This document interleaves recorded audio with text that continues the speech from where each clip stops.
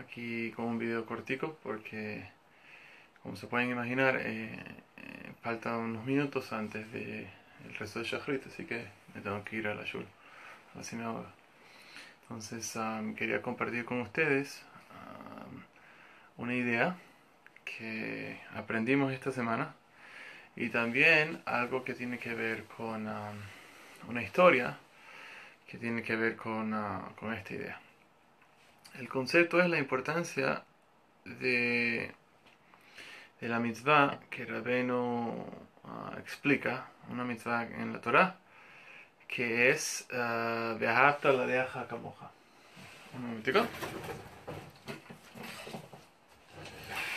Rabeno ya lo hemos explicado, Rabeno Zal lo dice. Él dice que esto tiene que ver con eh, aceptar o amar a tu prójimo como a ti mismo. Y Rabbi Nachman explica esto diciendo que esto es mucho más de solamente amar a tu prójimo como a ti mismo. Porque la palabra la reja, eh, que es la raíz de, de Resh, Ain, las letras Resh y Ain, esta, esta palabra también quiere decir tu prójimo, pero también si se cambian las vocales, significa la raja, tu mal. Entonces uno tiene que aceptar las cosas que aparentemente uno no entiende y lo ve como mal, lo tiene que aceptar como bien, como hizo Yosef Atadik en las últimas parashot que hemos leído. Yosef Atadik, el justo Yosef, él aceptó todo con bien, para bien, y realmente no merecía eh, estar en la cárcel, estar esclavizado, etc. Eh, un tiempo bastante largo y era completamente inocente. Entonces la Torah nos muestra que esto no es el caso en todas las personas.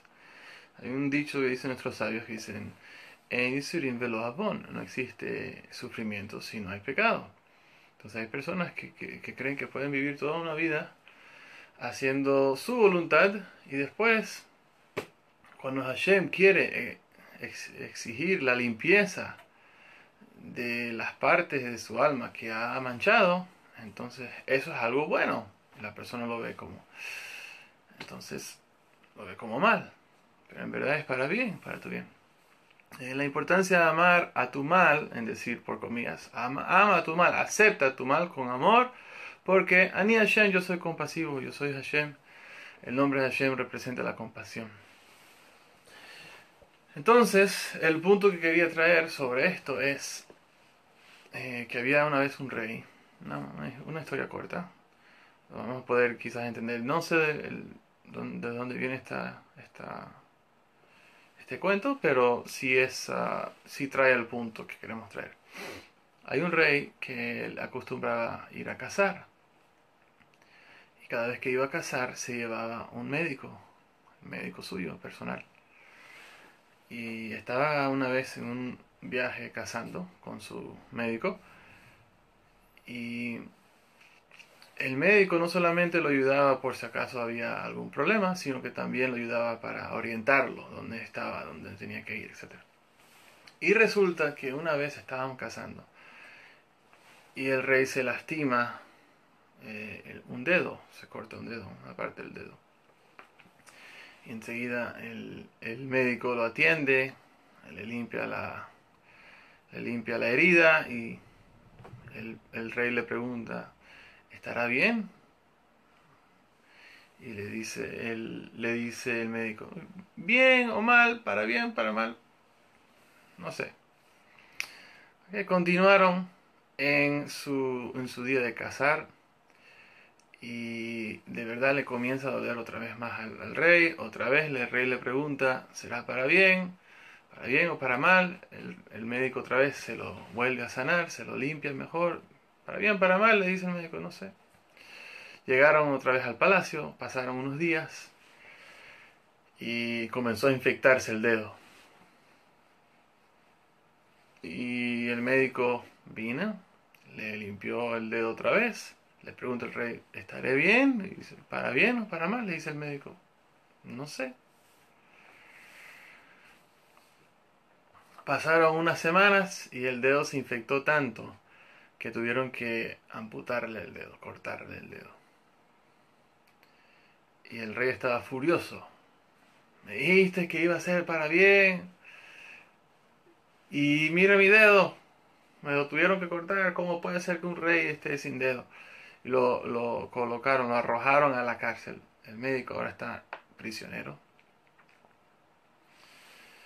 Y Ok, ya pasaron unos días, el rey otra vez le llegó su semana de ir a cazar y fue a cazar, pero como no estaba con el médico, esta vez se perdió y en el bosque eh, se desorientó y al llegar a cierto lugar había una tribu indígena que tomó al rey, capturó al rey, sin saber que era el rey, porque el rey no va cazando con sus vestimentas reales, con sus prendas reales, ¿no?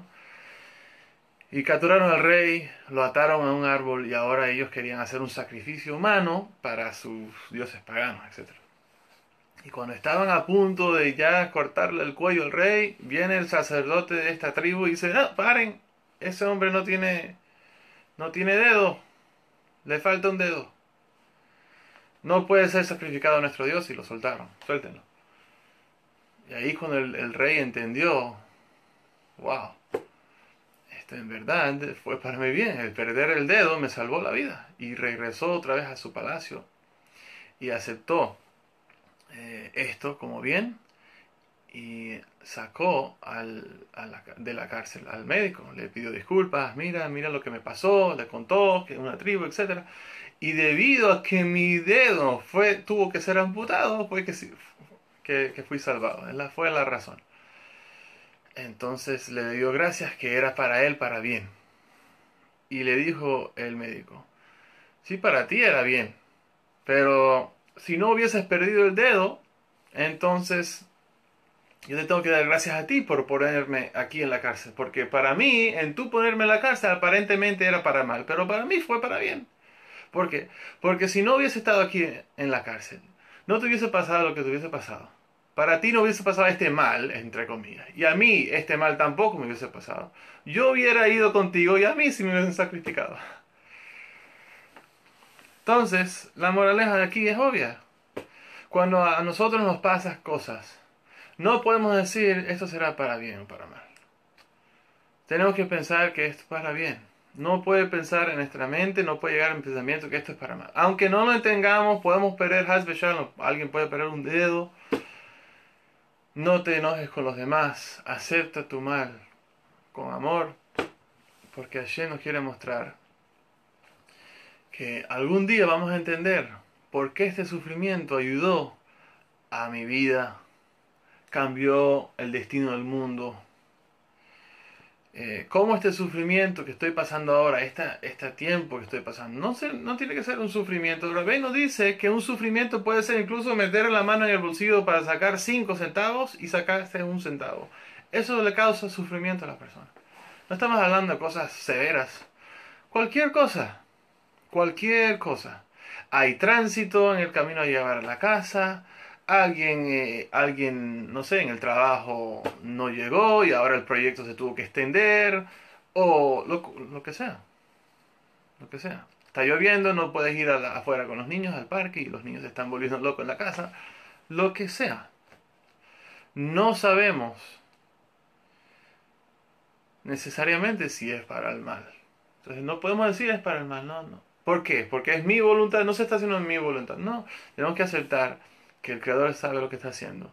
Y algo bien va, seguramente, esto es para bien ahora y en el futuro lo voy a ver como bien, claramente. Pero el mérito está ahora. Si, lo, si, lo, si te muestran la, la película y puedes ver al final de la película que todo fue para bien, entonces no es fácil aceptarlo así. El, el, juego está, es decir, el, el, truco está en aceptarlo ahora cuando no ves al final de la película. Ahí es donde está el mérito. Ahí es donde con el, Creador te va a ayudar para crecer, a reforzarse en creer en Él. Así que que ayer nos ayude en esto.